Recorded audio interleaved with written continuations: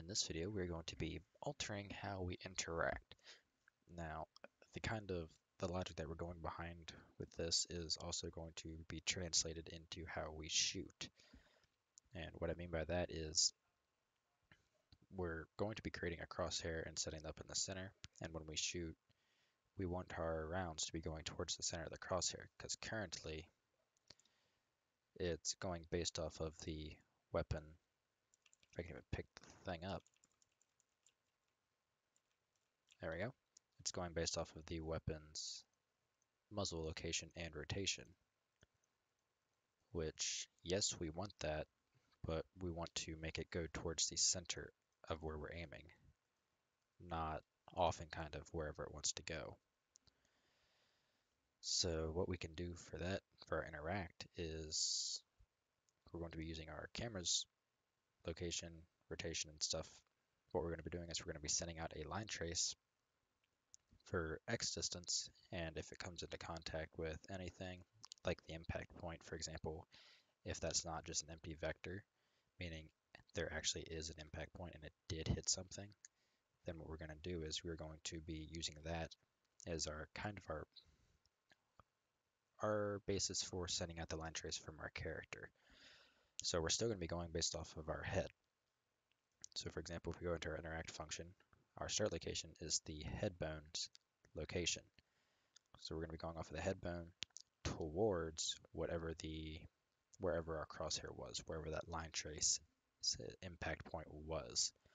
And the reason behind this, instead of going through our camera, is in case there's a slight glitch or something like that, where our camera, I mean our character won't normally be able to reach out and grab something we won't be grabbing it because the character can't. So we're using we're just kind of going based off of our character still, but the direction of the line is going to be based off of the impact point of our camera's line trace, which we're going to have to end up passing that endpoint into our server.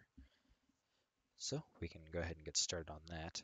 Uh, first thing we're going to do actually is we're going to modify our temporary HUD and offset our camera. So we're going to create our own little crosshair now, in the description, you will have a download to a little crosshair I made, and we're going to be setting that up to use in our temporary HUD. So let's go and open our temp HUD. We're going to add out, we'll drag out an image onto our canvas panel. I'm just going to give it a name of crosshair. I'm going to do i underscore crosshair. We're going to anchor it to the center and reset its location. So you can see it's still a little off, so we need to change that up, but we're going to set the crosshair texture first. So let's go ahead and drag the crosshair into our project, just like so. Now you see we have it here, our little texture, and now we can select it. So with our image crosshair selected, if we go to Appearance, Brush, Image, you will see crosshair. So we can set that and it'll automatically stretch it and all that kind of stuff, but we want it to be square. So we're going to leave the size the same as our Y. So we're going to do 30 by 30, like so, and let's just see what it looks like. All right, so it's not in the center exactly, but that's about the size that we want the crosshair, so we're just going to leave it. Now we need to move it into the center. So this anchor is in the dead center, but this crosshair is offset. So we need to do to move it to the center well, we can click and drag, obviously, or we can do the easy way and say, what's half of 30? Well, that's 15, so let's just subtract our position by 15. And it'll translate it right to the center. So now we have a crosshair in the dead center of our window. Now we can offset our camera. So in our third person CPP, let's open that up, go to our viewport, camera, Yeah, it's taking a little bit to travel. So we're going to raise it up. We're going to go up by, say, 60. I'm going to go actually to the side view. And get about the head height. So that's, I think, about where the eyes would be. And I want to go off of the shoulder. So that's about, I'll go a little farther. Let's go about the 50, so where it's hanging over the edge and see what it looks like. It's not bad actually. I think I'm gonna leave it. The way we're gonna end up doing this, it doesn't matter. We can move our camera around wherever we want and it's still gonna work. So it's not a it's not really a big deal. Probably gonna move it in just a little bit.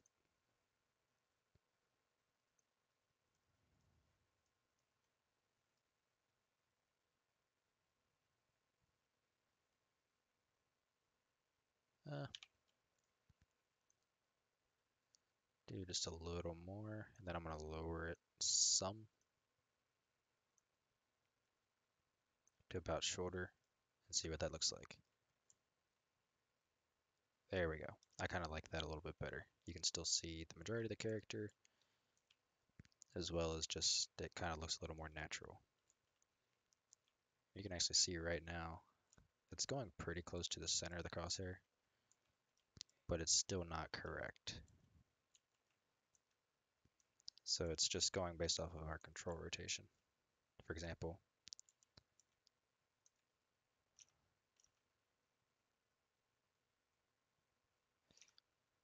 like you can see how sometimes it's a little off. If I can actually make it to where it's off. You can see there, that's kind of an example. It's still going off of, it's just due to our, this was actually kind of luck that we got it to where it's this close, but we're still going to change it because it's not actually traveling to our the center of our screen. So let's make it do that. So what we're going to do first is we're going to use our camera, our follow camera's location and rotation to create a line trace, and we're going to go based off of that line trace, what's essentially happening. So we can get our new start location. So f vector cam start equals follow camera get component location.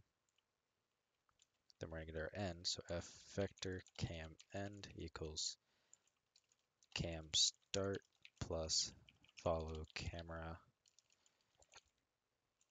get component rotation. rotation. We're going to convert that to a vector. Then we're going to multiply that by a length that's longer than our current interaction. So we're gonna do like, I don't know, 400, 300, something. Let's just do 400. So the reason for that is because the camera is a good ways behind the character. Let's, let's actually bump that up to 500. All right, so now we have our cameras start and end. Now we can get our impact point. So the way we can do that, we can do f vector impact point equals line trace component, our line trace component. We can do line trace single. We're going to take in cam start, cam end. Then we're going to get, because we're trying to hit result, we're going to do is we're going to get the impact point. So line trace single returns an f hit result. F hit result contains a variable called the impact point, which is an f vector. So we're essentially just getting it and storing it at an impact point. And from here, what we can do is if impact point dot equals f vector zero vector, we're just simply going to return because it obviously had hit nothing. Right, so we have our line trace for our camera, and now we can use our impact point as our essentially where we're going to create and send our line, like the direction we're going to send our line. So if we head over here to, well, Unreal Engine's portion, we have a function called find look at rotation. Now what this does, it returns an f rotator that is based off of kind of a direction. So let's say I'm standing in front of you and you move to my right. Well, if I take my f vector, my coordinates, and your coordinates, I would get the rotation that I need to turn to face you. So that's what find look at rotation is going to do. So we can go ahead and use the include. So it's the Kismet math library. So let's go ahead and copy that and include it in our project.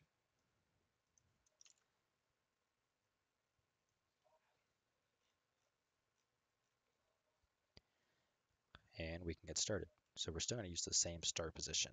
but the end position is what's going to change. So what we're going to do is we're going to take our start position and we're going to add our look at rotation to it. So you Kismet Math Library, find look at rotation. We have our start and our impact point. Now because it returns an F rotator, we need to convert it to a vector for it to work properly. And now we are good to go.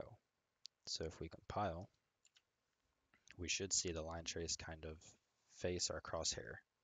Like wherever the impact point is, it's that's where it's going to head to.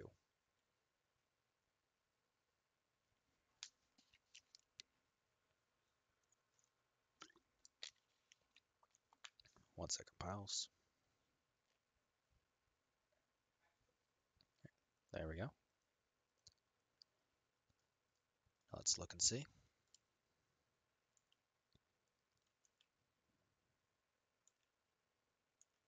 As you can see, it's going to the dead center of our cursor, well, for our line trace.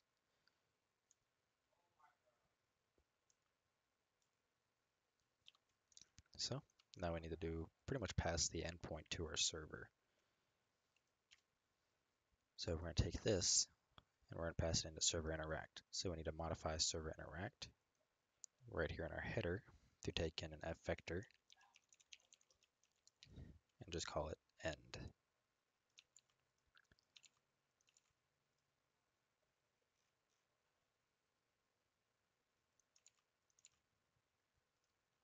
So in our implementation, we didn't make it use this endpoint. So what we can do is literally remove our end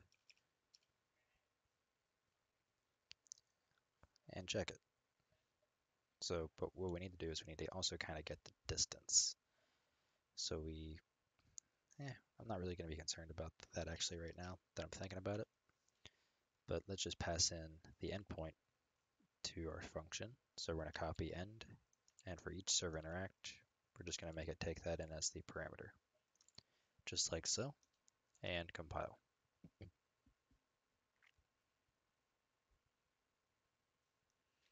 This will allow us to still do checks to see if you know something's blocking it, so we're not picking up stuff through walls and that kind of thing. Okay, let's give it a try. Make sure we can pick this up as we can.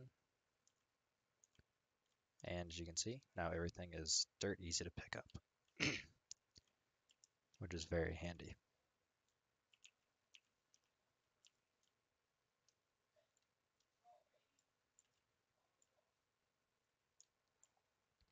I didn't realize that would actually move him. But yeah, that's going to be kind of the uh, basis of our aiming as well. Because when we aim and shoot, the round's going to, well, the line trace is going to be heading towards our crosshair. So let's do a quick reiteration of what we've done. So we're pretty much getting the where our cameras, we're shooting a line trace straight out from our camera. And wherever it hits, that's going to be our basis for rotation. So that's why we check if our impact point equals zero. Well, a zero dot vector, because that means it collided with nothing. So it's literally a zero dot vector. So x, y, and z are 0. So then we take our start location and we take our impact point, wherever that may be. We're going to use the use Kismet math library to find the look at rotation for that. So that is essentially, like I said, if me and you are standing in the world, I'm looking straight at a wall and you are a little bit to my right, I take my coordinates and your coordinates into this function. My coordinates, your coordinates, we can determine the rotation that I need to face you. So, so we're going to take that, multiply that by the length that we want the line trace to go out, which is 170 centimeters, and then continue on like we do as normal. Now we're taking that endpoint and passing it into the server just because the server doesn't have access necessarily to our follow camera because it just doesn't need to. and that allows us to essentially just do everything like normal, but via the crosshair to make everything easier to pick up.